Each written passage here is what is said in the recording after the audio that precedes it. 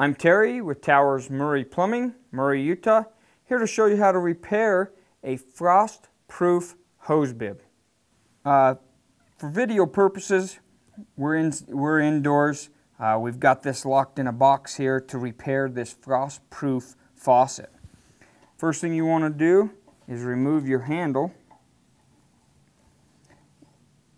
Most all of them have the same type of screw, center screw. There are many different varieties of faucets. Remove your handle. Next you'll have a packing nut. Remove your packing nut. Behind the packing nut is a packing material. Now some of them are going to be made of rubber, some of them are going to be made of a, a string or Teflon material.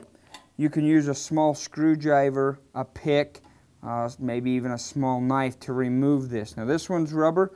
Like I say, some of them will be made of a packing material, string material. Once you remove that, your stem is now ready to come out. Sometimes the easy way to get it out is take the handle, put it back on, and you'll twist that stem. Most stems will twist five or six times, and then you pull them out. Some of them can be a little tricky, need a little bit of force to get them out.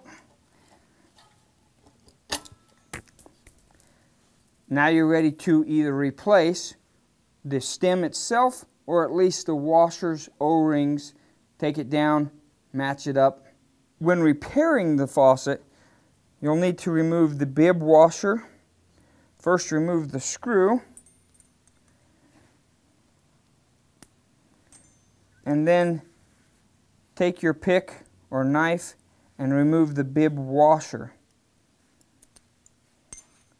Once you have your new washer, you've matched up the proper size, goes back in. Sometimes they can be a little tricky to get down in the little hole there. Put your screw back in.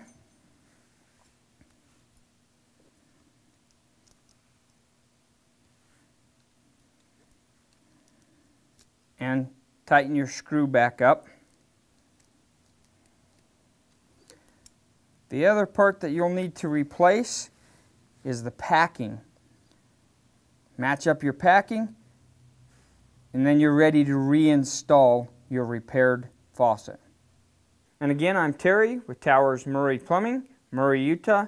We've just shown you how to repair a frost-proof hose faucet.